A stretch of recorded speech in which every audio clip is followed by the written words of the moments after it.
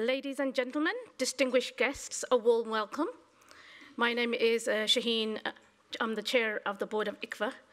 On behalf of the ICVA board, it is my pleasure to welcome you to the ICVA 2023 annual conference. Today's conference is themed the right time and the right place, improving access to humanitarian quality funding.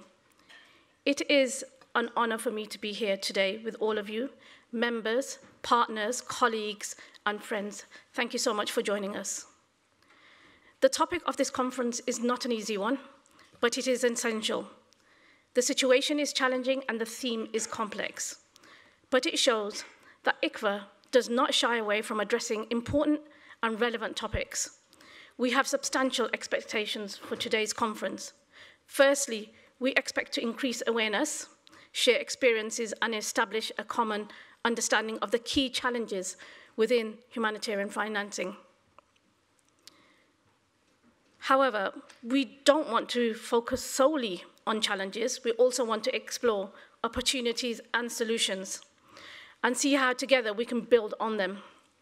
We are fortunate to have a number of distinguished speakers who will guide us through today's discussions, and I thank them all in advance for their availability.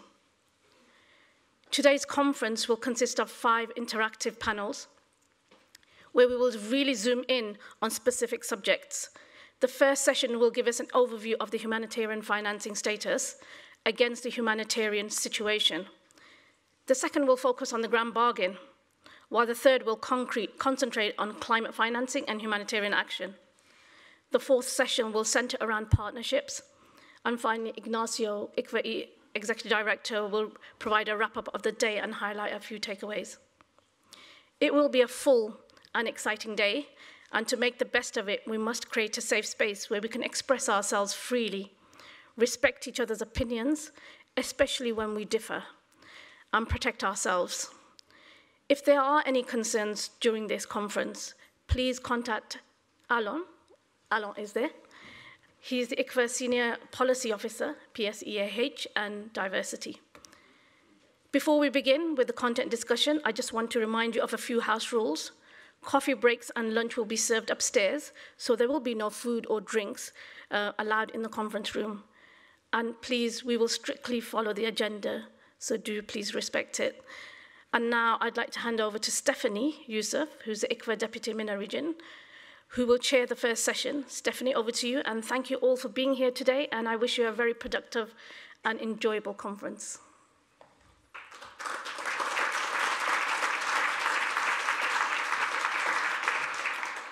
Thank you, Shaheen. Um, it's absolutely wonderful to be here with you this morning. It's such a nice day and a room filled with colleagues and friends of ICVA and a wonderful panel. So we are uh, super excited to be here today and to start with such a, a, a wonderful panel today. Um, it is it is an honor to kickstart this session uh, with uh, this high-level panel discussion that will frame this annual conference and establish a common understanding of various humanitarian challenges.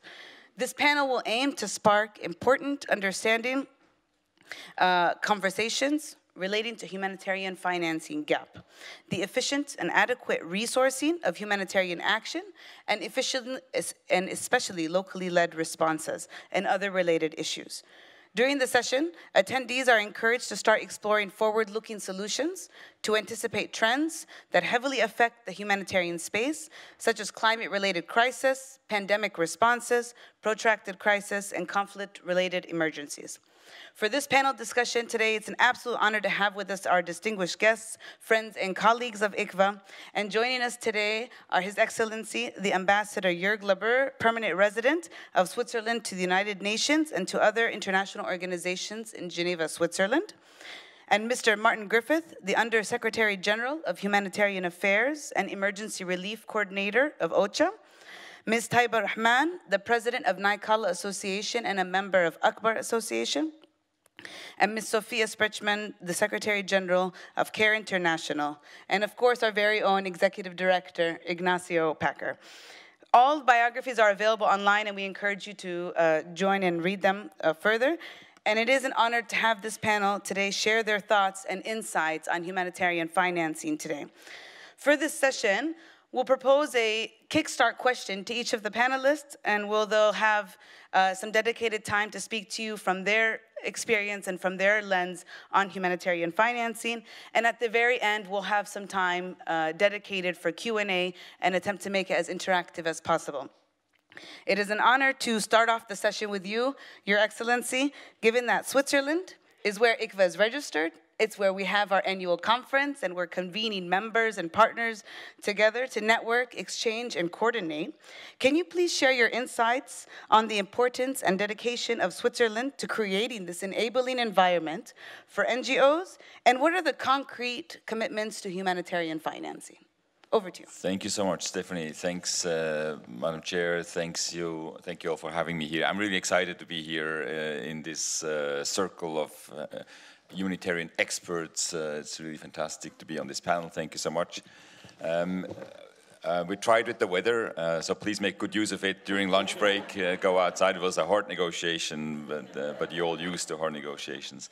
Thank you for the questions. Um, I, I, actually like to uh, speak to, to, the three points. First, I, I want to thank ICVA uh, for all your work. You're a very important partner to us. We feel that you are really able to bring the community together to be also a good voice for the community. That's important for us. Uh, we are not able to reach out to all the relevant NGOs uh, who are working in the field. Through ICVA, we can do this. Through events like today, we have a, a possibility to exchange that is really important uh, to us. And uh, I understand on we, we committed for another three years of support to ICVA. That doesn't mean only three years, but at least the next three years.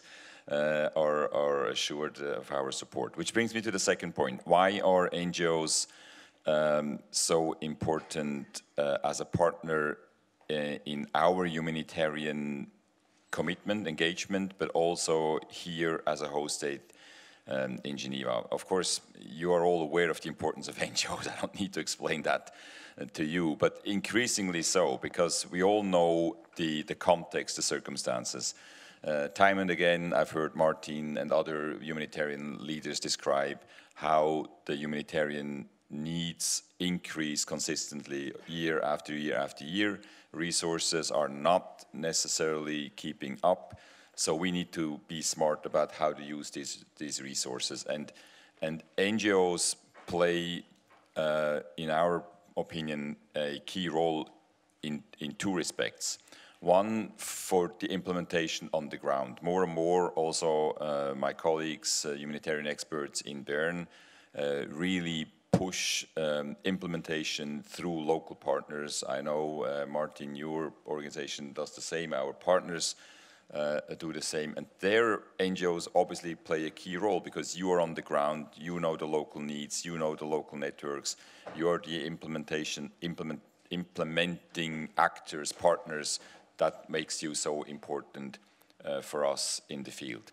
The second, your presence in Geneva is important for us because Geneva International Geneva is, is two things. It's on the one hand an operational hub uh, where some of the big humanitarian agencies are uh, from where they distribute, they send the resources, uh, the people into the field. But it's also where policy discussions take place and where normative discussions take place and where policies are being developed. And you need to be part of that discussion. When, when the humanitarian agencies in Geneva discuss among themselves what are the necessary responses, where, what's the best practices, how do we frame uh, humanitarian action on the ground. We need the NGOs represented here in Geneva. We need you as a voice here to participate in these discussions. That's maybe not what you think of your activity or, in, importance in the first place because you're very field oriented, but we need you here in Geneva. We he, need to hear your experience from the field also in Geneva so that we don't have ivory tower decisions by, by, by uh, academics here in Geneva, but things that really make sense on the ground, which is why we as uh, Switzerland as a host state uh, that's our commitment. We want to continue to offer to you also here in Geneva the best possible working conditions so you can, uh, you can be here. We do this together with the Canton of Geneva, uh, supporting you, helping you uh, come here, find a good environment and do that important work. The, the second um, element in our Switzerland's response to the context I described, increasing needs, uh, not necessarily fast enough increasing resources, is, is predictable, flexible, and, and smart uh, financing of humanitarian action. And there I better read from my text because otherwise you will certainly and very quickly realize that I'm not the topmost expert on the issue.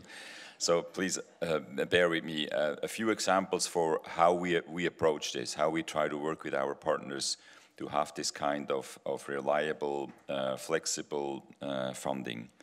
Uh, you probably know that last year Switzerland used new modalities to increase the flexibility of softly earmarked humanitarian funding with one of our main partners. You're not surprised that it's going to be the ICRC.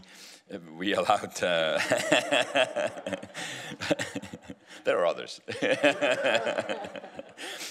we allowed for ex post allocation of funds, uh, which allowed the ICRC then to redirect our contributions to humanitarian crisis situations that are notoriously uh, neglected and underfunded. Um, uh, examples uh, like Ethiopia, the DRC, Nigeria, and Venezuela.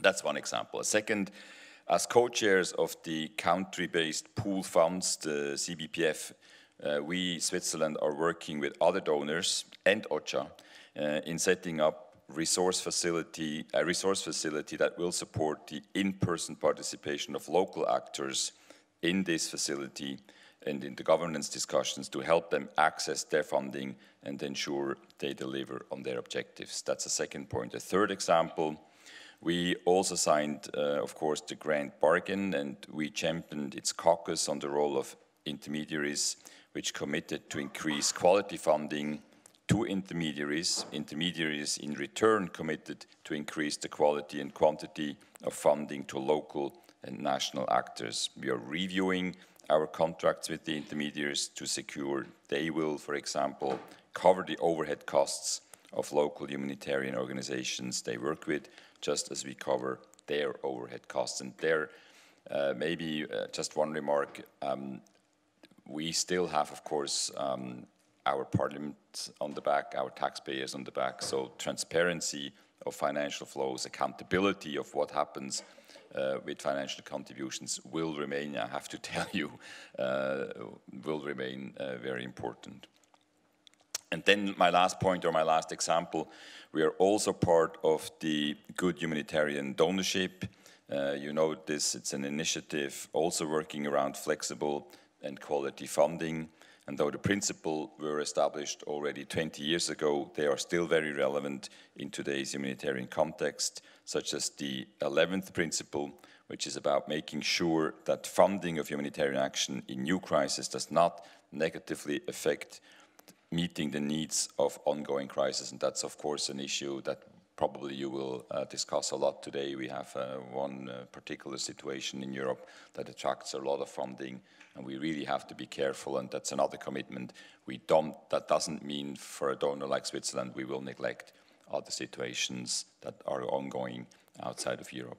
So thank you very much again for having me. Uh, thank you, ICVA, for uh, your important work. Thank all of you uh, for your work you're doing in Geneva and especially also uh, on the ground, also through you, your colleagues we couldn't do the humanitarian work we want to do without the local partners. And I know many of you work in very, very, very difficult circumstances. So my, my deepest respect and thanks for that. Thank you.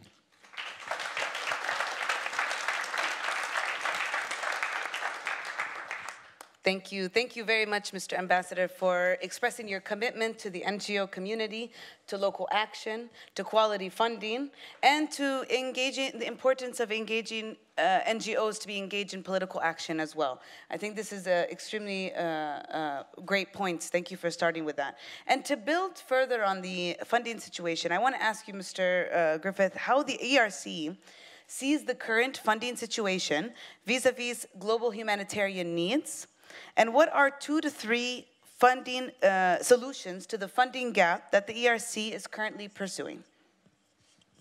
Good luck.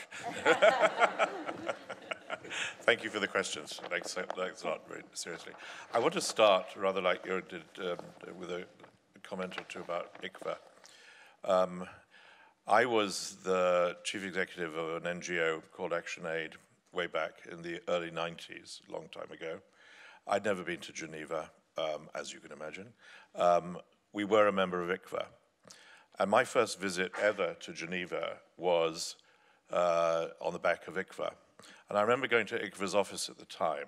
We had some issues of humanitarian intervention and so forth at the time. And what you did in ICVA for me on that occasion, I didn't know my way around at all, was you, first of all, told me where to stay the night. That was very helpful. Thank you very much. um, but then you took me, I think, it, to an early meeting, some international meeting in the Palais. Um, and you got me in and you prepared the way and you looked after me and you made me feel like I was part of a community which I had never um, visited before. And I was incredibly grateful for that and I knew I'd never come back to Geneva in my life. Here I am. You can't keep away. It's the weather, as Jürg says. Um, so thank you, uh, ICVA, for that, because I know this is what you do on a daily basis. Uh, and trying in, in, terms of the, the, the, the, the issues, I want to say, as, as, as, usual, three things. And they are sort of, I think they're linked to the issue of funding. Um, number one, as, as everybody in this room knows more than me, one of the um, particular challenges, or in, in other words, failures of the humanitarian community is to have, create, and be driven by, and to be dominated by the engagement with the people in the communities that we serve. The clunky term, as we all know, is accountability to affected people.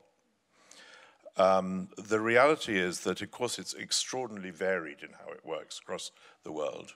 Um, but it is of the highest, the highest importance. And yesterday I was talking uh, on a call with a colleague in Goma, in uh, Eastern DRC, who, and, I, and I, I said to her, how do you manage to do the magic, which is essentially to make sure there is the time, the quiet, the patience, the listening, to create that relationship in your busy day, particularly as you can imagine in the Kivus. And she said, Well, look, you're calling me up. You're, you're, a busy person. You know, it's not difficult to find time if you think it's important. And we need to make sure, and I speak for the um, UN agencies here, in particular those big beasts, we need to make sure that the ICVA message, because ICVA does get that relationship right a lot more often than the rest of us and the members here, that we then are driven by you as to how we can, in the field, in all the places that we work, make that relationship the central programming proposition. So it's, yes, it's localization. Yes, it's making sure that money goes through to the frontline organizations, eh, much more so than it is now. Um, but it's also getting different skills into our leadership, the skills of listening, the skills of stopping, the skills of, uh, of, of respect. That's the principal thing. And for OCHA, for me, recently re-arrived at OCHA, that is the overwhelmingly most important priority. To facilitate that, uh, we, we, we all know that we have to lighten the load of programming obligations. Uh, in, in, I, I've been away from the humanitarian world for 20 years. I came back to find this very professionalized system humanitarian response plans are massive, take a huge amount of time, very, very detailed, very good on accountability. But the time needed to do it is not proportionate, in my view, to the value that you get from it. And the time needed to listen is much more relevant uh, than is the time needed to program. So, get, so we need to do less of that and more of the other. And, and the relevance to the question, if I could just try a leap here, of course, is that priorities genuinely discussed and understood and sifted and then uh, applied from that conversation with the affected people is money much better spent.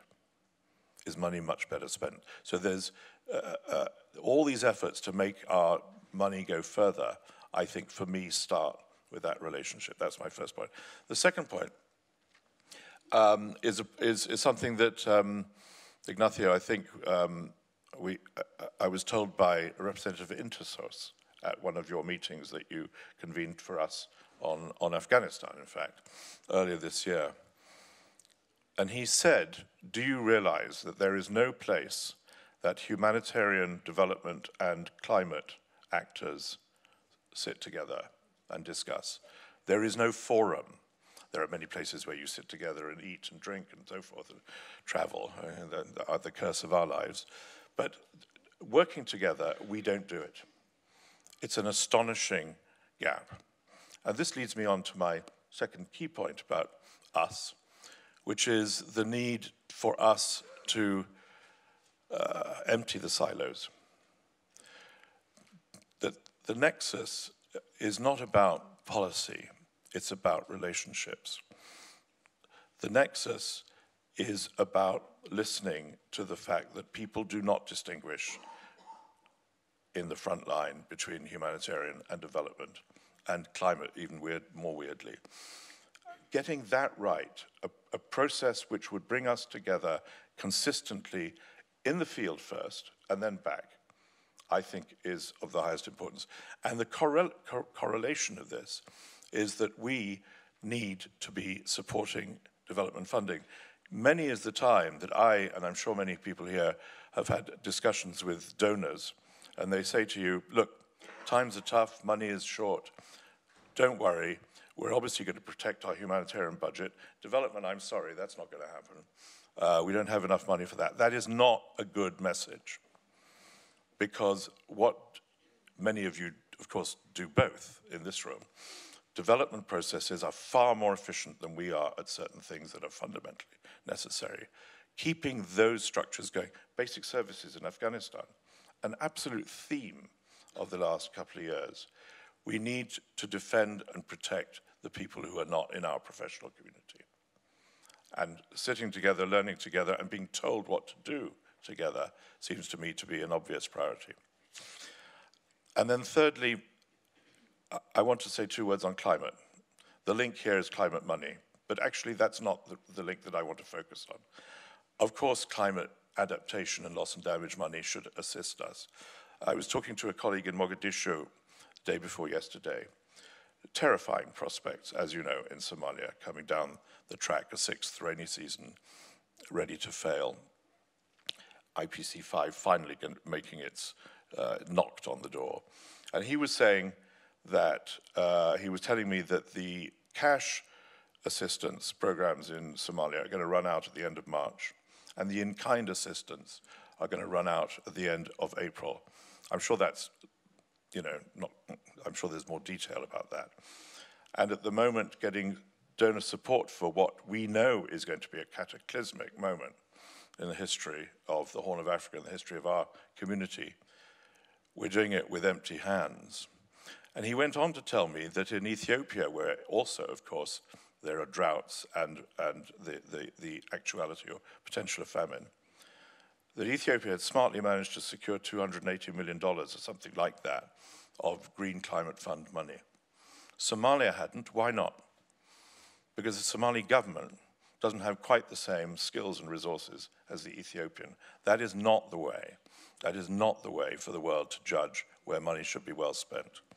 So climate for us is both an extraordinary threat, an undeserved threat, an unjust threat to the people that we, that we work with and for, but it also needs to be disentangled so that they get money out the door instead of keeping it uh, uh, as promises made, but promises not kept. And, and, and, and, and I would, would end, if, if I may, on, on this, that, the, that I think climate is going to be our worst companion now in these coming years, worse than conflict in many ways, doubling with conflict in many of these places. What that means is partly there is there are financial issues, but there's programming issues. We need to use climate data, anticipatory action. Yoga's also already mentioned. There's a lot more to do on that.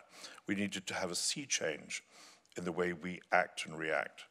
And we need, finally, the passion of the climate community. You know, when I was growing up, the humanitarian community was a passionate activist community. Um, no com competitors for the, the, activism, the passion, the, the drama, the energy of our community. Over the last 10 years, there's been a huge professionalization of it, and that's good, but somewhat at the expense of passion. Not actually in ICVA, but in other parts of our community. Climate, youth, the activism of that community should be an inspiration for us. And we need to build back the color of humanit humanitarianism if we're going to actually live up to our responsibilities. So we are at a crucial inflection point. Climate knocking on the door, money not knocking on the door, affected people only heard from time to time. We have the opportunity to do this because I, I know this is true. I was talking to Sofia about this just now, coming on onto the platform. We do share common values. There's no question about it.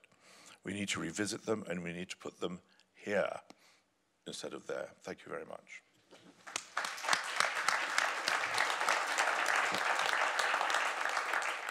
Thank you. Thank you very much um, for those comments. I think it was extremely important to see how you how you broke them down. And when you when you spoke about um, how money can be much better spent, you reminded me of one of our our advocacy messages about less paper, more aid.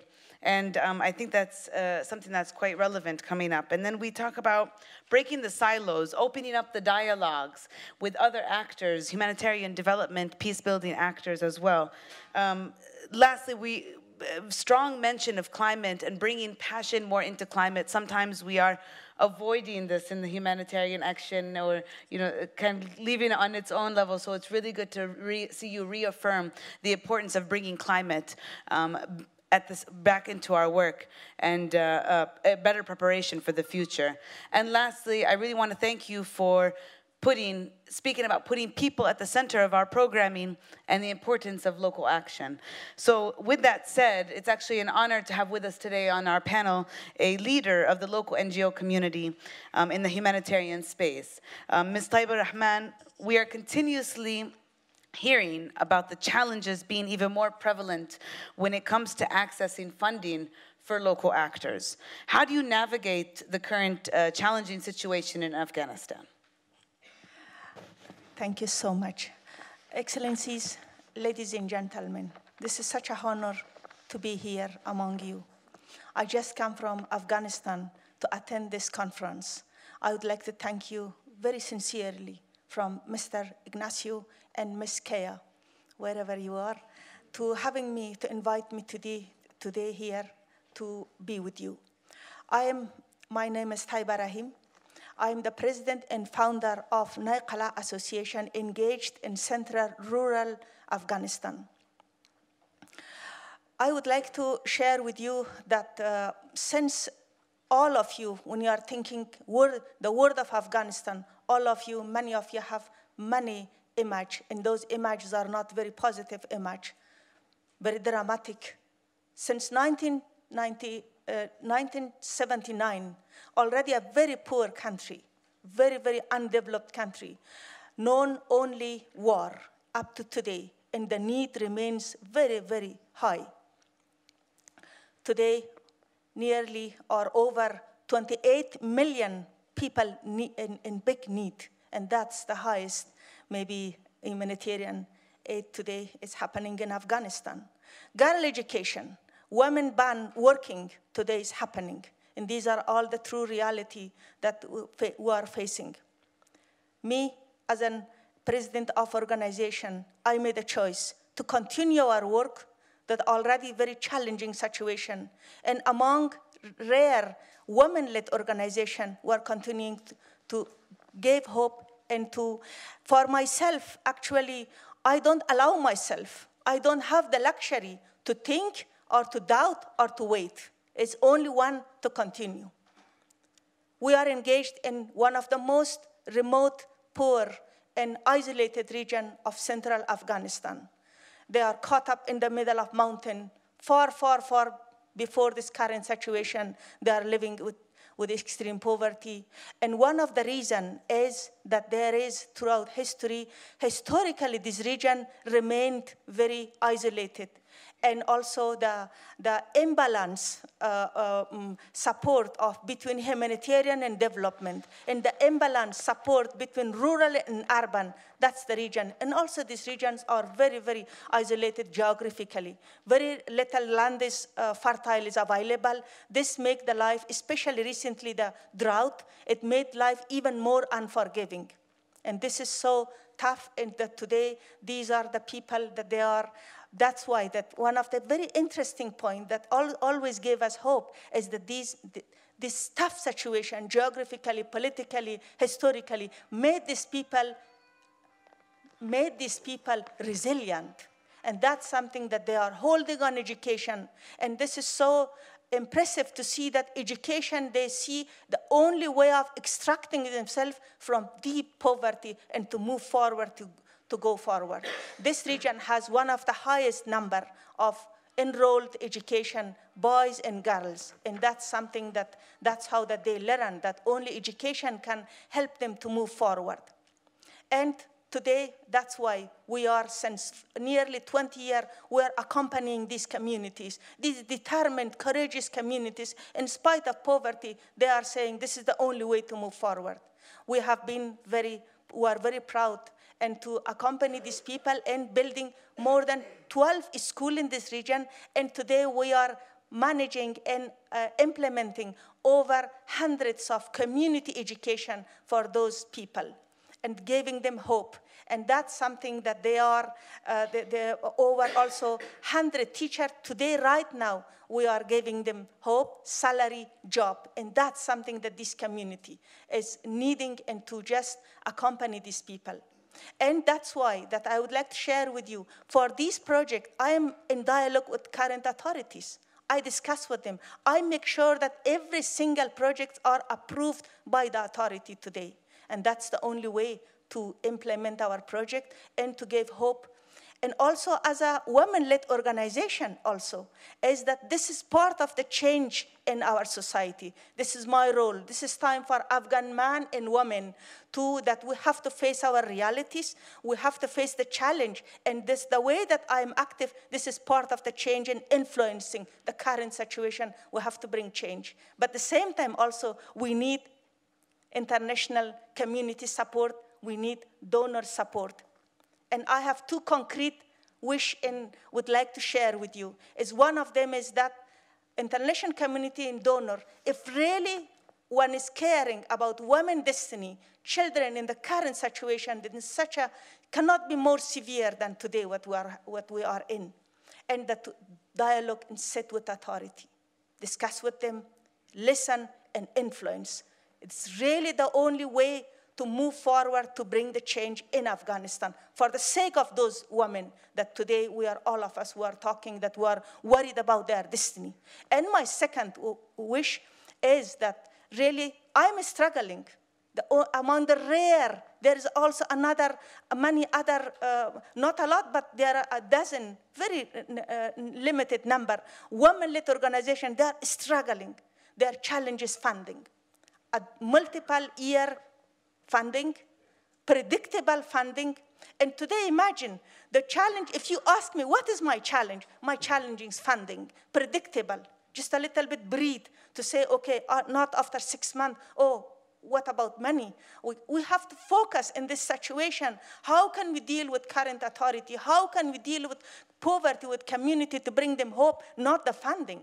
And that's something is so important that, uh, and also another uh, point that I would like to share, that the requirement for uh, asking for funds is very, very far more complicated. The kind of requirement, the model that donors that they are, it's made only for big organization. Small organization will never fulfill those kind of forms. It's designed for the big, big, big organization, not for a small. I keep, I'm one of those examples I can tell you is that I'm regularly being rejected because you are not fulfilling our requirement. And that's the challenge. And this is, I would like to uh, I hope there will be more opportunity if you have any question. I would like to conclude with one story. The story is about a teacher. in August 2001, when the, the situation has changed, the government has changed, entire population, 30 million population went in panic. What shall happen our future? What will happen? And one of our teacher, among our 100 teacher, they decided family to leave to an un unknown destination. And they left for 24 hours just driving somewhere, not, not knowing, out of fear, out of unknown uncertainty of situation, they left. And then she cried so much that her family decided to travel back to this rural area. And when, while she returned to our village, it's the most extraordinary humanity that uh, put us all under pressure, make us responsible, make us feel that we cannot leave those people alone. Children was standing in front of class, said to the teacher, very innocent way, why the class is closed? Teacher, why you are late? Actually, she already left for 40 hour driving and she decided to come back. And that's what she said. She took the key, she opened, she said, I will never. And imagine this beautiful teacher she needs with dignity. That's what. That really I would like that asking for long-term development projects that if if international community that they had all the chance the last 20 years heavy presence in Afghanistan, if they would have in, invested in more development program, today Afghan people have less problem with coping with current situation. You cannot, we cannot, the whole world, I would like to say very clearly, we cannot, the humanitarian is supposed to be for a few years. It's emergency, not for two decades. And Afghanistan is kept in need for decades and decades, very little uh, balance with the, with the development program. Look at this teacher. We are paying her only $50. Maybe you will not imagine, but that's what gives them hope. Her father, her husband, her brother, all of them. She's a proud breadwinner of the house in this situation. And let's keep this hope alive for those children that we owe all of us, for the new generation, for all of us that we are talking. And we are talking about localization. Please help us do not, I hope one day will not hear that organizations such as ours will drop out of the, from the bridge because we were lacking funding. Thank you very much.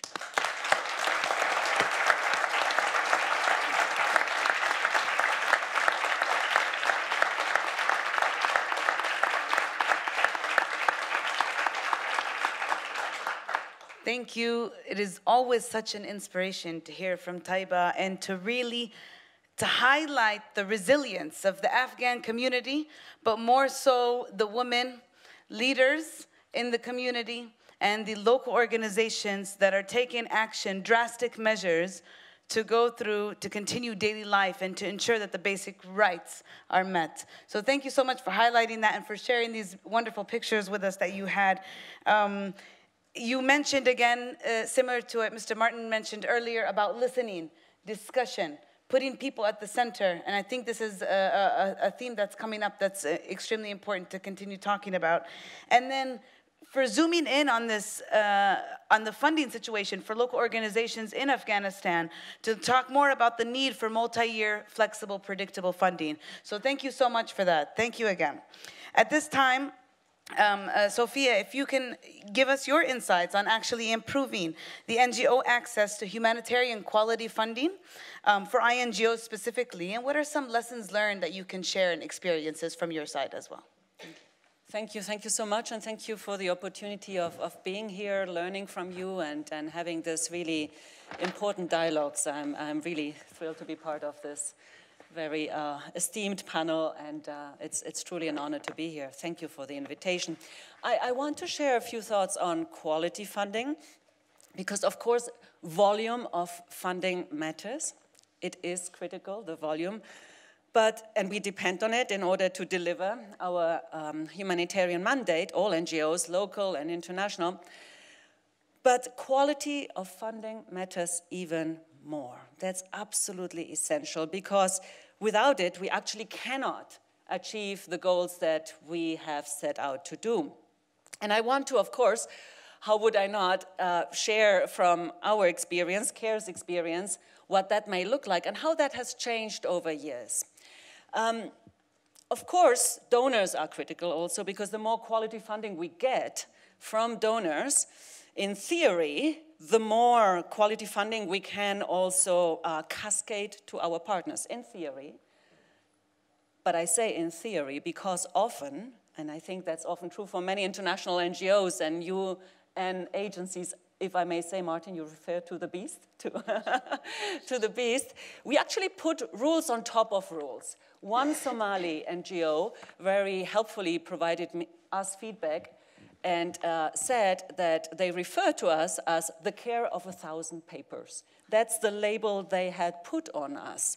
So, very conscious of that. And, and we do that often, kind of as an excuse. We say, oh, we need to manage risks. But we actually layer on top of already heavy rules, even more rules. So, I, I do want to, um, you know, kind of say a mea culpa in that regard, because here, unless we admit that we are part of the problem, we cannot be part of the solution. And I think we are part of the problem, absolutely so. So, um, in fact, um, some of you may have witnessed that CARE of a thousand papers, and for that I apologize because we are in a learning journey. And some of you may have witnessed better practices and good practices even from us. So, of that, of course, I'm proud, but bear with us because this is a transformation journey. It doesn't happen overnight and we are learning together with all local NGOs along the way. Maybe some positives, and I think actually the reckoning that the sector has been going through around decolonizing our sector, racism in our sector has been so important because I think I can now proudly say that from 2021 to 2022, so in just one year, CARE's volume of unearmarked and multi-year funding increased from 24% to 55% in just one year. And I think that would not have happened without that reckoning. From 24 to 55%, it would not have happened. You know, I think that pressure was really absolutely essential that the sector also felt, like many other sectors in the world, but we as well. And I would say also COVID played a part too, because not only was responsibility you know, more shared with local partners, given all the limitations we faced with COVID, but also authority. Not only um, responsibility was transferred, but authority as well. Unfortunately, with these two kind of factors combined, I think there is no turning back. And I don't think we would have seen that massive increase in multi year and um, unearmarked funding would it not have been for these two factors. So that's uh, very important. But and actually, uh, recently, you know, Ukrainian NGOs told us that what they want from us, you know, and, in a recent trip of, uh, with women-led women's rights organization, with whom we partner, they very clearly told us that what they wanted is exactly what you said more you know less uh, earmarked funding much more flexible and multi-year because you don't know how things might go. So this is really a focus. But i think um, it's not enough to talk about some of the technical fixes of funding Technical fixes are important, and I call, you know, kind of less earmarked or softly earmarked, multi-year funding. Those are technical fixes. More important than that, than that and that's what the, all of you have referred to, is actually the issue of quality partnership, deep partnership. It cannot just be about those technical fixes. And, um, and for that, I think it's about shifting power not only this technical fixes, but it's more about decision making power on how to use the resources, in which way to our local partners. And I must be frank, that's often where, within our, my, my own colleagues and CARE, where we have the largest resistance. The, the resistance to, you know, really shifting the power on who decides, you know, the use of resources. So quality funding to me is fundamentally about shifting power, not about technical fixes. And, um, and that, of course, requires that we develop a rapport with local NGOs based on trust, grounded in local practice, grounded on what NGOs really want to focus on. So, trust is here the answer, not those technical uh, fixes. And in fact, I think that you know shifting power to NGOs means that NGOs, local NGOs that refuse to accept funding that is overly complex, the CARE of a thousand papers, bureaucratic, that refuse some of the compliance requirement that often we put on top of the, of the donor requirements should be applauded and not be treated as pariahs. They sh really should be applauded because they are showing us the way. And, uh, and I think it's very important that that open dialogue exists. So some of the things we, we have been doing in order to get there, and believe me, these are old habits that are very difficult to shake off. You know, my everyday effort is attempt to shake these ways of working off. And it doesn't happen overnight, but it requires a purposeful and very determined effort because ultimately, this is what our work is about. Nothing about us without us. That's the slogan that has accompanied my life, and that's the world we want to contribute to. And that requires also, honestly, quite a lot of internal change within CARE. Um, you know, in, in a recent survey uh, and, and constant surveying of partners and feedback from partners and that trust, uh, trusting uh, relationship and, and that establishment, you know, they told us, 70 partners actually recently told us that the change that they wanted was actually quite different than the change that CARE staff wanted. They ranked, for example, much, much higher in the survey results that uh, you know, there should be more tolerance with financial reports, mistakes and errors that our staff felt much more attached to, that those, of course, couldn't happen, that they much more decisions on how to spend the grants than what CARE staff were willing to do. So constantly we need that feedback, we need to listen. We really need to listen very, very carefully to that feedback. Language matters as well. We need to get away. Probably many INGOs used to call, you know, our agreements with partners sub-grantees, sub-granting. That in itself shows a certain way of holding power. It must be much more about mutuality, about reciprocity. So now we have funding agreements that are not sub-grantees. Why would we even use that kind of language where uh, we all agree what the components of those funding agreements should be? Um, and maybe one more point, what matters enormously here is behavioral change from our own teams. And, you know, kind of deeply reflection, deep reflection around power and partnership that is very important. Often it's our program staff that do more of that, but including our finance staff, our auditors, our compliance staff, in those dialogues as well is absolutely critical. So um, without that, um, and without those internal dialogues and with our partners and carefully listening, we will not make a dent on this really um, abysmal issues, I think, because they are that the sector is still confronted with.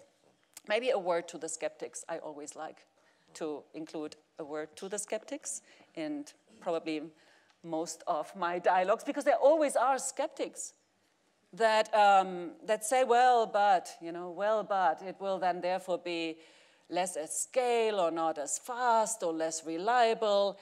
Our experience from that dramatic shift from 24% to 55% is exactly the opposite.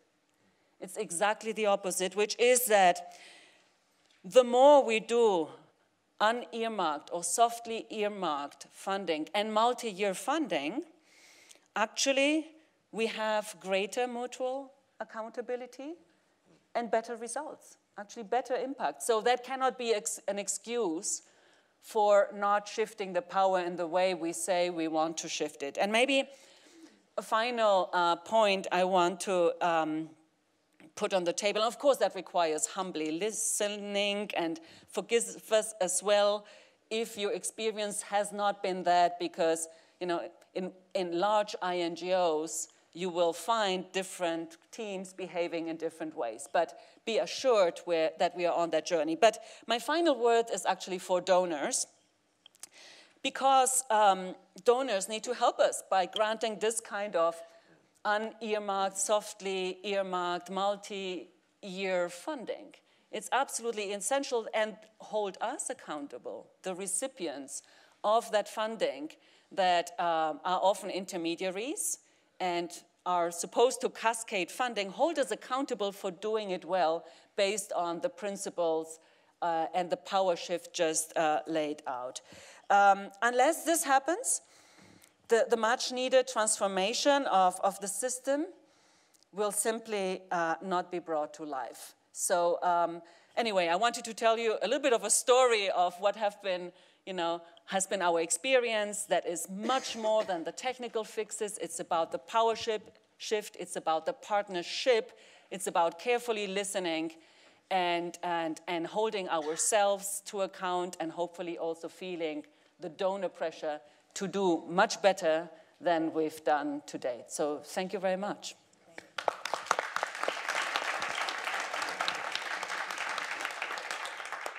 Thank you very much, uh, Sofia, for taking us on this transformational journey of CARE. I think it's uh, extremely useful to hear from the experiences of the INGOs what has our lessons learned as we go through the process, um, what can be improved, and uh, areas uh, uh, that we're excelling at.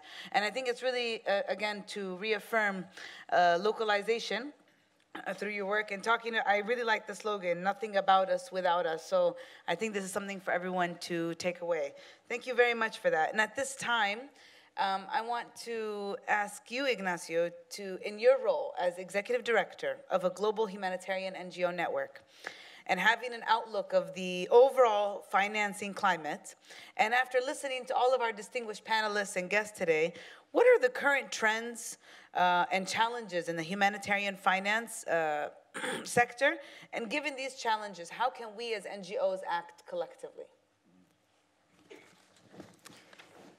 You, you put quite a panel there. What, what how can I follow up on that? You know, I think I would, I would like to start by when we're talking about financing, what each of the speakers has put top, and I thought, Taiba, you were great in putting that, is around giving hope. It's around the dignity. Eh? The money is just the means. The intention behind the money has to be really very strong in the way we operate. I'm going to come with some top points, but I really wanted to come back to one point that you said, Sofia, I'm not sure I want to rejoice with the percentage on flexible funding, because where is that flexible funding going?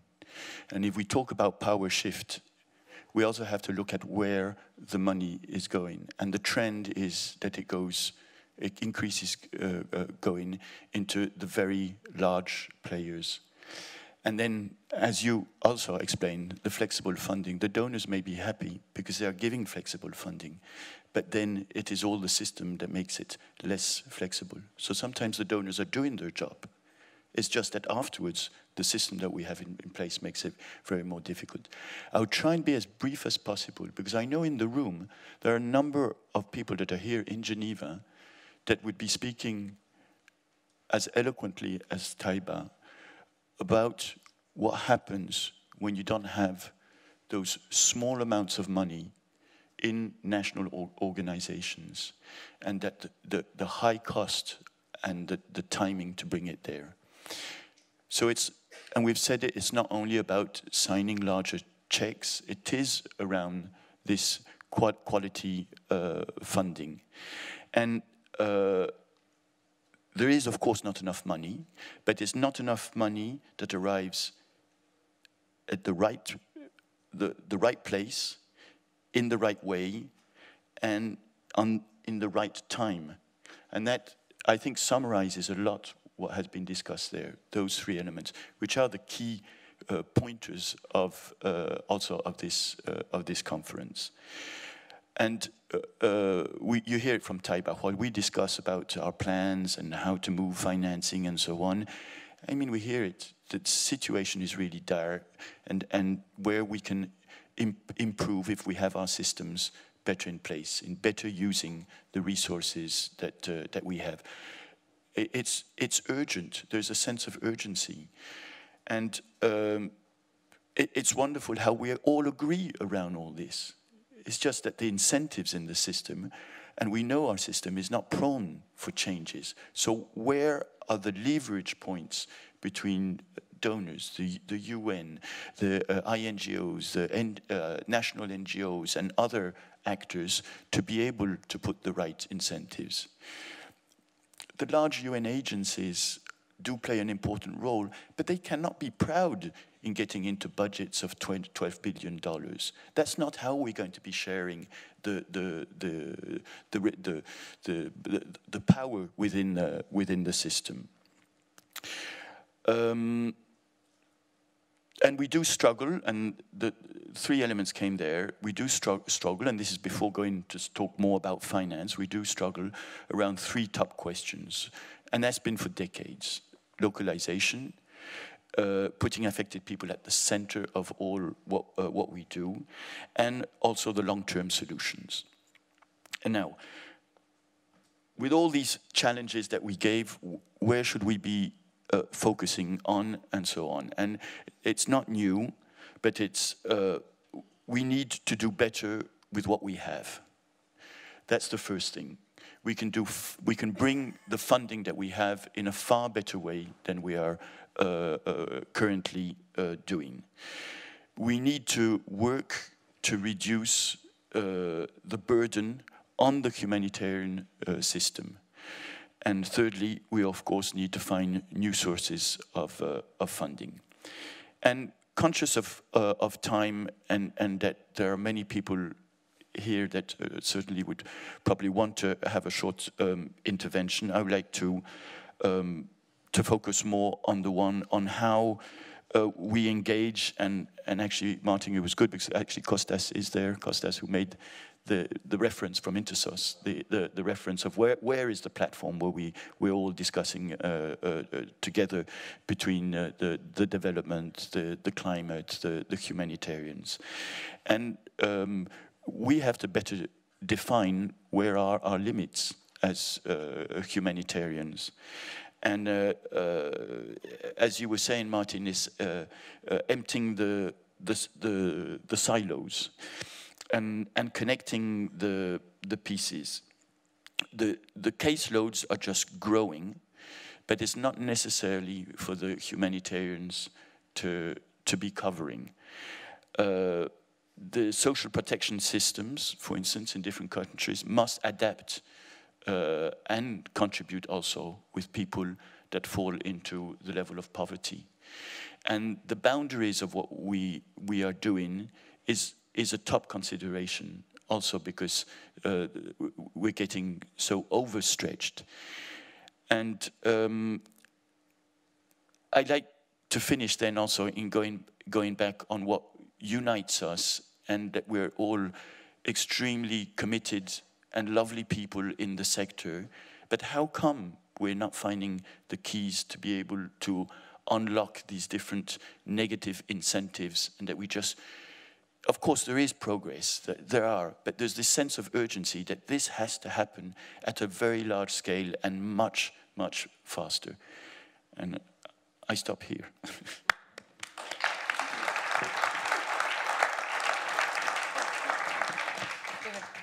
I won't be doing, uh, giving justice, just to give a pointer to the grand bargain, uh, uh, of course, which is also part of the discussion uh, here, where there are so many commitments that have been taken and that we're struggling to, to implement. Just, just sorry, just that last one, because if not, because you know, the colleagues make a big effort to prepare. Actually, everybody had papers except Taiba.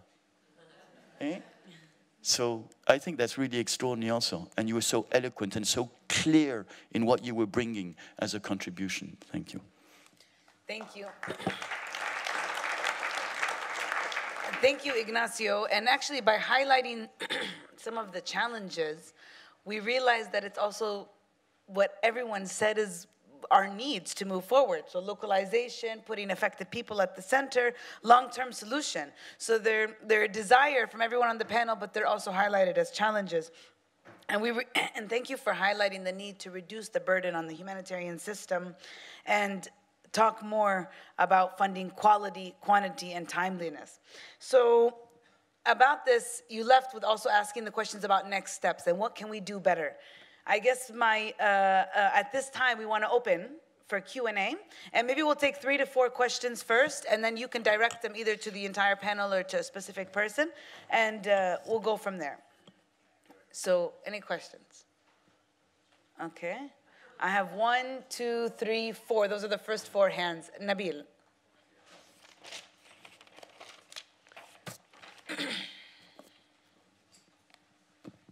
Yeah, thank you so much. Yeah, I want just to reflect on uh, Sofia uh, about the unearmarked um, uh, fund.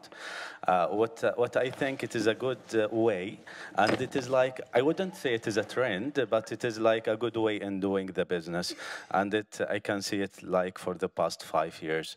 What I'm thinking about it, it is a good chance for NGOs so that they can also build their own capacity, capacity development, capacity strengthening, and that uh, the donor doesn't know it all. Uh, because yeah, there is proposals, there is concept papers, but at the end of the day, the um, the um, the NGO in the ground they know they know much better than this, and I wouldn't say there is like development industry, but there is a development industry. There is no like humanitarian action industry. Uh, I mean, I wouldn't say it in the bad way, but in the good way. I mean, humanitarian action industry. So this industry needs investment, needs infrastructure. Thank you. I think we had a question up there. Mahdi, right there.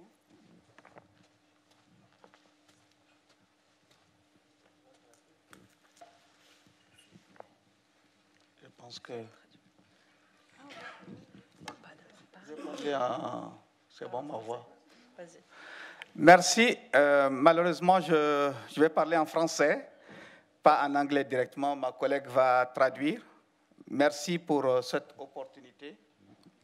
Uh, sorry, I would speak in, uh, in French and uh, my colleague would translate for me. Moi, c'est El Mehdi Ag uh, Wakina, directeur de l'Association malienne pour la survie au Sahel uh, au Mali. Um, El Mehdi, I'm coming from Mali, from uh, one local organization.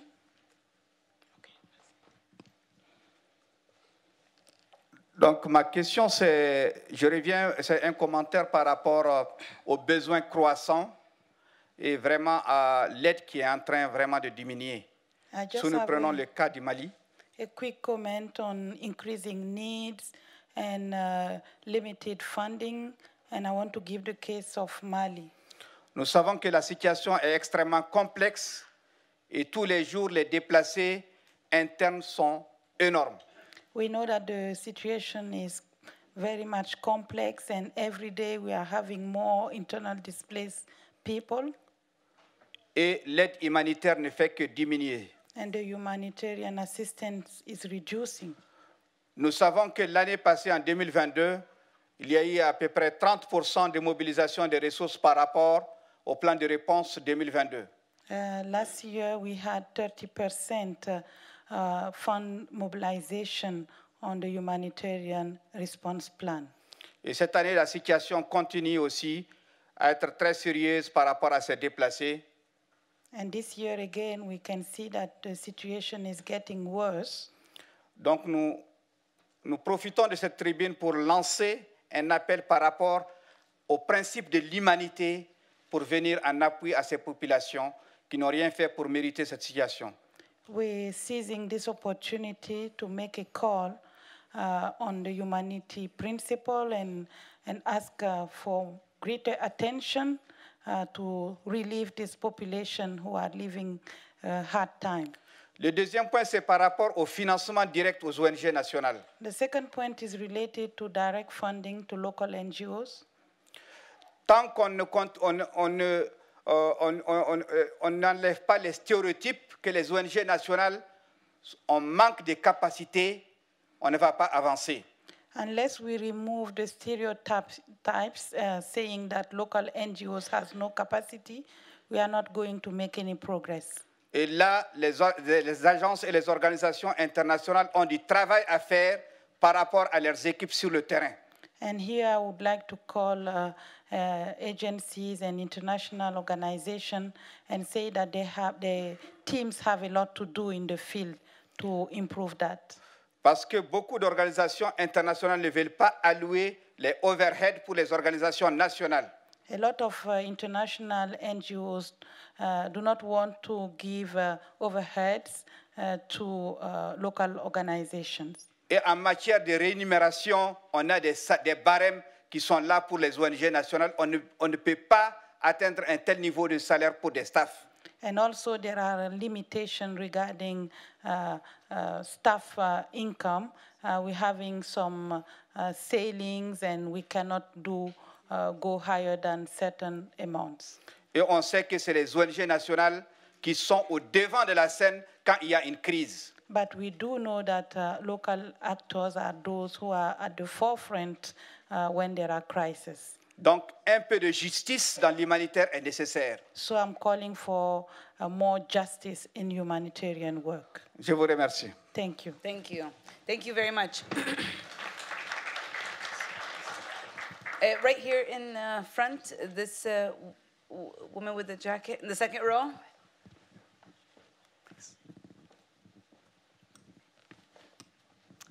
Thank you very much. My name is Smruti Patel, and I'm representing Alliance for Empowering Partnerships. We're signatory of the Grand Bargain, and we sit in the facilitation group.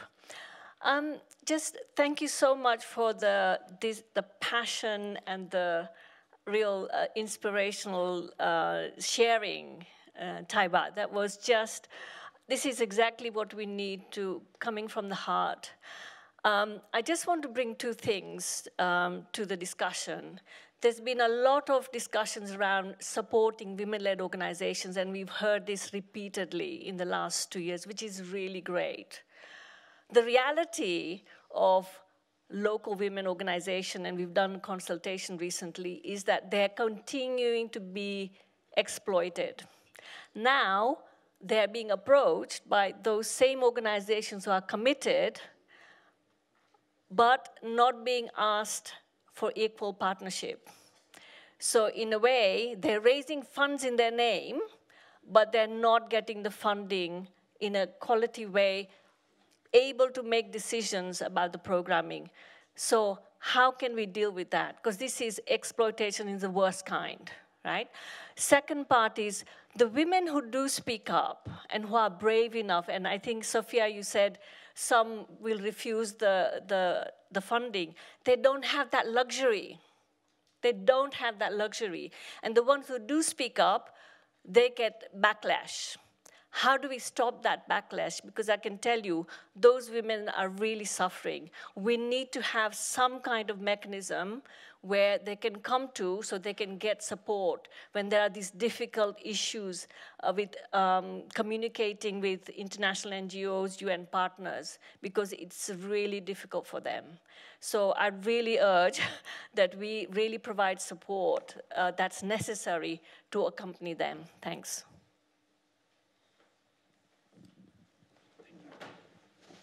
Thank you. Uh, we'll take maybe one or two more. Uh, this is hard. Who went up?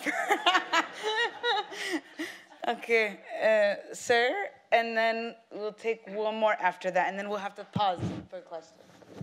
Thank you very much for this excellent uh, presentation. but I would like uh, really to know your views of whether the problem of funding is it a problem of donors or recipients? I know you talked about volume and quality, but when we say the problem of donors, some donors decide the areas of funding or the priorities for funding, for gender, whatever. And uh, those donors, uh, from the view of some, they don't address the root causes of problems in certain areas. Just they would like to, to take the formalities of things to give the impressions uh, that we are, oh, the impressions reflecting the views of the donors? Or is it the problems of the recipients who misuse that funding or who has some negative attitudes within the local communities or within the countries?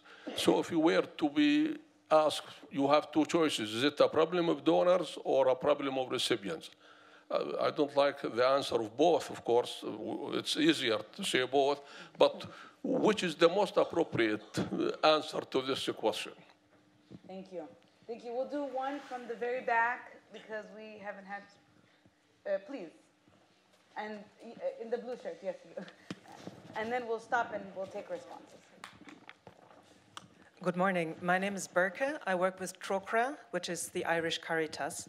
Trócaire is a partner-based organization, um, and we are also signatories of the Grand Bargain and the Charter for Change. So Trócaire works entirely through partners, and I would like to come to what His Excellency said, um, Lauber, around um, sharing ICR or overhead costs. So Trócaire has implemented a policy, mandatory, that we share all our ICR 50% with the local partners. In addition, we include 5% of the budgets to capacity sharing or capacity strengthening so that local partners actually have a bit of a reserve um, in order to, according to their priorities, um, you know, establish more institutional capacity. Um, the, the, one recommendation or the request I would have for Switzerland is um, to please share those practices with your donor colleagues um, and also with other organizations so that we can actually advance more uh, the localization agenda. My second point is for Mr. Griffith on um, what you mentioned around climate change and humanitarian action. And while maybe the time isn't right for um, a World Humanitarian Summit 2.0, we've got um, the COP28 coming up, and I think climate change and humanitarian action will need to be part of that agenda. So, particularly when we look into um, fragile conflict affected states and maybe just the appetite for eh, you know, making that linkage between humanitarian action and climate change is so important. Thank you very much. Thank you. I know there's so many hands, but let's uh, take uh, uh, some feedback. Maybe we can start from uh, the last question and move our way to the first. So, Mr. Ambassador, if you can talk a little bit about just that reflection on sharing the procedures uh, with the donors, colleagues, and specifically um, amounts to local capacity building. And then, uh, Mr. Griffith, if you can talk about your thoughts on World Humanitarian Summit 2.0. Thank you much. Um, as I said in the beginning, we really try to talk to our intermediaries and, and motivate them, push them to uh, also share in the overhead costs of the implementing uh, I, uh, en, réponse peut-être à votre question, moi je pense pas tellement que nous on un stéréotype qu'il y a un manque de capacité. On, on reconnaît peut-être qu'il faut euh, aider à développer la capacité des, des, des, ONG sur place, mais je ne pense pas qu'on a un stéréotype négatif vis-à-vis des ONG euh, sur place. Mais merci de nous rappeler qu'il faut faire davantage des efforts pour, pour leur aider de développer euh, leur capacité. Uh, we certainly talk to our uh, friends and co uh, other donors. We have different uh, formats here in Geneva. That's one of the advantages uh, here, the donors are here, they have the humanitarian experts here. I'm looking at Anne, the humanitarian expert in my mission, on her level with my colleagues, ambassadors. That's uh, very much happening, but thanks also for that, uh, for that recommendation. And uh, you won't like my answer, but it is both. Uh, and I also um, don't, I think we should not make this like um, you know, like systematically uh, portrayed as if there were these two sides. I would like to think of us as a community with donors, with intermediaries, with local NGOs, with recipients. We have to approach this really collectively and not think of each other as, as like, uh, you know, on the other side. And then I think when every of us, every part of this collectivity is aware of where we need to improve, and, and you heard some ideas from, from the colleagues on the panel, I think that's the way to make progress. Thanks. Thank you very much. On COP, I, um, I went to COP27, first time I'd ever had any such exposure. I was quite struck by the absence of the humanitarian community as a collective. I, I was appalled by, by you know, uh, you know, criticizing myself as well, obviously. Um, and it, it's, it, it wasn't, wasn't good enough. Of course, many, many humanitarian and development organizations were there, but there wasn't a collective purpose going in as to what we were trying to do. There's a discussion at the moment, certainly within uh, OCHA and our, some of our partners, on how to approach the issue, uh, the climate issue going into COP28 in terms of advocacy. Uh, I think, um, but I think I'm not in a majority, that the most important thing for the humanitarian community to put in front of COP28 or any other such uh, fora is the impact on frontline communities. We shouldn't start with money, essentially, and that is the debate that we're having at the moment. Let's start with trying to liberate climate money to get it out of the door much quicker than it has done. That's not too difficult, by the way. Um, but others say, look, the witnessing, the observation you'll be seeing in Mali of the impact of continuing drought, floods there as well, on frontline communities, this is a witnessing which we need to import into the climate debate because it isn't there sufficiently. I think that's very clear. We then need to build from there, and I think COP28 is, is, a, is an opportunity. Uh, the, we then need to build from there as to how can the promises made by governments across the world actually be put into practical reality for those communities in which we may have a role. But, it, but it, crucially, it's not uh, an opportunity for us to get more money. It's an opportunity for us to do our fundamental responsibility as a community, local, international, global, which is to tell the truth about the impact of climate and to make that truth clear in COP28 and beyond. So we're having a debate at the moment about it, and I welcome all advice as to where we should prioritize. Thank you. Thank you. Uh, Sofia, can you actually reflect? You had two. Uh, the very first question about reflection on funding and uh, the fact that there was no humanitarian industry, like there is a development one. And then there was another one from Alliance uh, talking about not having the luxury to speak up, as you had mentioned, in refusal of funding. Mm -hmm. So Oh, sorry. okay. yes. Well, I'll just, I'll pass over to Sofia to answer those two questions.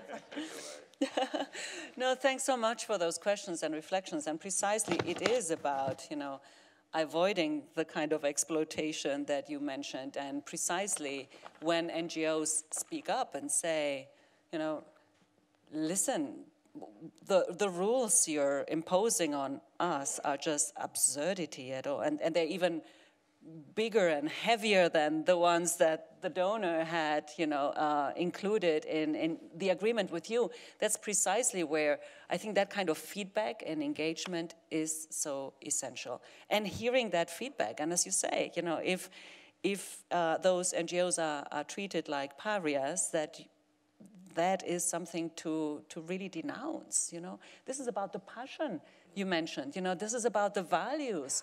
Be passionate again so that we all also reflect based on, on that passion. Actually, I think, you know, it is about, you know, INGOs can often be more the intermediary. Well, that's wrong. It should really be partnership. And it's not about transferring the risk to local NGOs or national NGOs. It's all about, and that's why new concepts such as, you know, well, collaborative compliance, not just compliance, you know, shared risk management. It's not about transferring the risk, it's about sharing the risk and working this out together.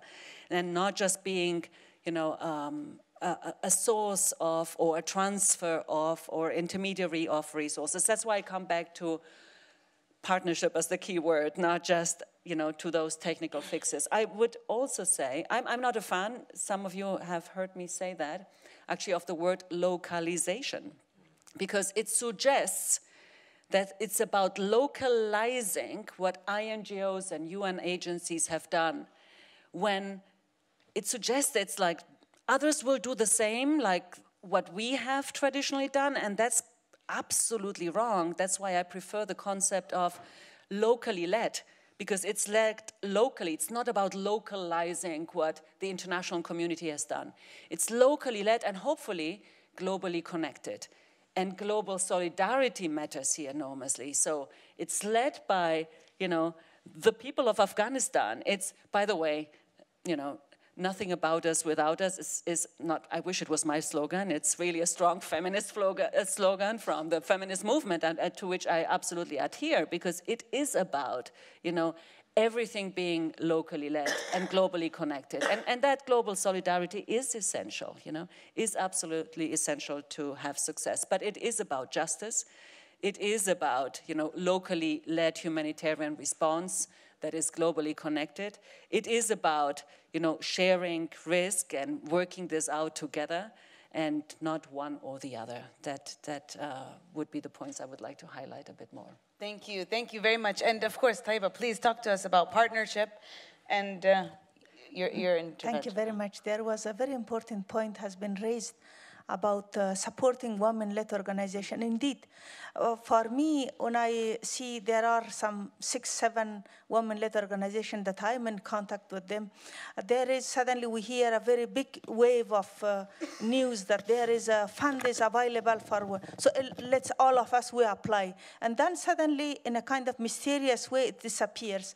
I don't know why. Suddenly she calls me that actually I already feel guilty. Maybe I'm dropped because maybe we didn't fill nicely. Already to fill the forum, it's a some of them are cert certain language that I don't think if I, even I can find it in dictionary. Each time when I fill the form, I look at dictionary, Google, tra Google translation, the dictionary book I'm looking, none of them was words are even available to how to translate in order to fill that. I'm sure this is something about people. I'm sure it's something about vulnerability of the community. It must be, but that's just a language. And I call people, they say, oh, did you call the donor? I'm saying, no, they're not available. The deadline is in two days. And then suddenly we are filling, and then, first of all, I feel, just share very honest experience, I feel guilty, maybe I'm sure we did, I'm sure I'm saying, I have done wrong. That's gone, completely forget, even don't even write the email that whether I was, we passed or not. Suddenly, all the women call me, says, Taiba, did you get? Because we feel bad. I'm uh, uh, at least you should have gotten it. I'm saying, no, not at all. Didn't you hear? So this is somehow, I don't know where it goes. It's somehow, there is a lot of news that deadline is, uh, uh, we are today at 10 of March, deadline is 14 of March. And the form is more than 60 page. And, and also, doesn't matter, we can work even at night, but the vocabulary we have to find out. Those kind of language, those kind of explanation. And uh, to be honest, yes, we do want to. I don't want any forum to be easy for us because I would feel so proud that we should be developing our capacity. And that's something what you are mentioning. How can we competitive also? We don't want pity. Oh, this, oh, little, little woman, let's support them in this current situation. There's so much. No, we don't want pity. We want the pride. We want the capacity building training workshop to get familiar to those vocabularies, to get familiar to those kind of filling the form, also to complete those requirements. Some of those requirements are not even possible. I tell you, three years ago, I, am rejected by an, uh, one donor. And, the, and the, one of them I scored very low. And then one of the reasons was we didn't have policy car. And I told them we don't have car to, in order to have policy. They're saying, oh, because you don't have policy, you drop the score. I'm saying, I don't have car. We're doing it at a local base. We're doing taxi from here to there. We don't have that fund. So give us the money that I buy a car, then I will make the policy. These are the challenge. Thank you. Thank you very much, uh, Taiba. I think uh, at this time, uh, Ignacio, there's, there's a, a, back to the question about funding, a problem with donors or recipients. If we can uh, directly address that also, as well as um, the question from Mali talked about direct funding to local NGOs and removing those stereotypes of incapacity of local organizations, what I think Taiba just spoke to. Yeah, so we have, we have a problem, or we have problems. And generally what we do is that we can really point to the other one to say he has, or he, uh, this organization has to change something. Now, as NGOs, we should also be looking at what we should be changing in the way uh, we, we function. And I really liked the intervention of Trócaire. That's practical, that is clear, that is uh, uh, ways directly of responding to some of the um, uh, uh financial issues in engaging with, uh, uh, in partnership with national organizations. We need more of that. Uh, uh, we know also that all the discussion around the intermediaries is not the one which has the, the, the biggest enthusiasm by some, uh, uh some partners, but there cer certainly is where us as NGOs, we do have a lot of work to do. And then the problem, I want to bring it at a, at, with a, a different dimension because we are here in Geneva, and Jean-Jacques Rousseau is a son of Geneva he was uh, he revolution, revolutionized uh, uh, political thinking, and he talked about a different social contract. So this is at a really different level, but we also have to think uh, how us as societies we are functioning and what different social contract we we need. The pandemic uh, really gave us hope that our system will be changing uh, in, in major ways, mainly on issues around localization. It hasn't. Then we said, well, yeah, the, uh, the uh, conflict in Ukraine is also going to bring us a bigger push and so on. It hasn't. What do we need, really, to reinvigorate this element of solidarity that we see at, at really important moments at different times all over, for it to be, to be a different social contract, for us to be able to be in a situation like Ambassador Lauber said, it's not about us and them, it's about us, and there's nowhere in this planet where there is a corner where you can hide. Thank you. Thank you very much. And I am very sorry to say that I think that our time is up actually. So, I mean, while this has been such a wonderful discussion, it should not end here. Um, we want to extend all appreciation to all of our distinguished panelists and guests for taking time out of their intense schedules, honestly, to be here with us and share their insights and experiences. And the conversation doesn't end here. You would like to? I, I want to have one word at the end. And, and now I'll open that up. So actually, while we wrap up, I think it's good to have last reflections from uh, our okay. panelists. So kick, kick us off with that. okay, I just want to make one thing completely clear. I am never ever going to go on a panel with Taib again. How boring, right? it's not happening. Taib, it's wonderful. Thank you.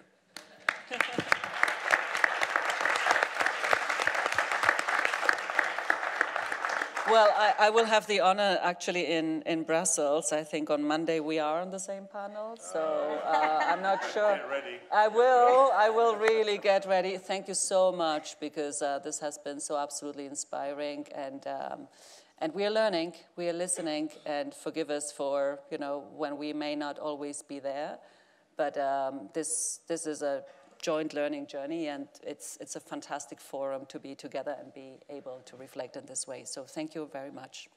Thank you. Not much to add, really. Um, I, at the very beginning, Martin mentioned that the Nexus is about, um, I don't know the exact, remember the exact, exact wording, but partnership. but it's about relationships, and I, I think that's uh, that is really the key, bringing people together, and especially also physically, know, not just virtually and all these things we have now. And so thanks again also for doing the travel, and thanks again for arranging this because that's what we achieved today, I believe. Thanks. Thank you for this opportunity that I could share what the reality is happening. Very often we are in these meetings and donor meetings. The zero is even the screen is not enough for the zeros to complete how much funding has been made available worldwide and how much it goes to Afghanistan, name it. But what is happening real in the ground to bring those funds, to give hope to those communities, that's the question that I would like to learn and we have to improve. Thank you very much.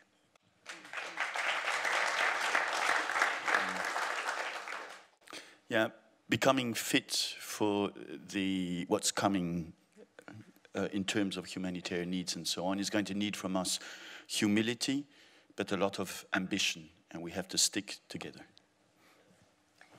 Thank you, and and another round of applause for the uh, for the panelists.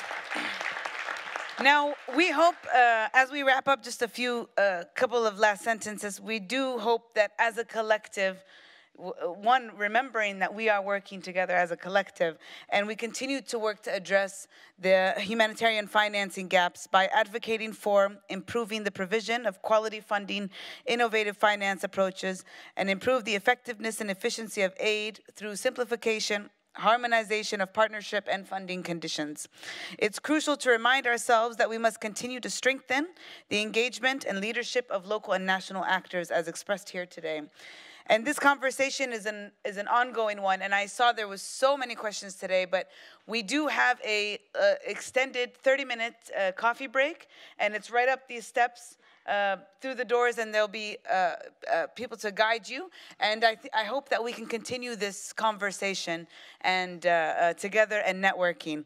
And thank you again. It's an honor to be here with you today. And thank you again to all of our panelists. Thank you.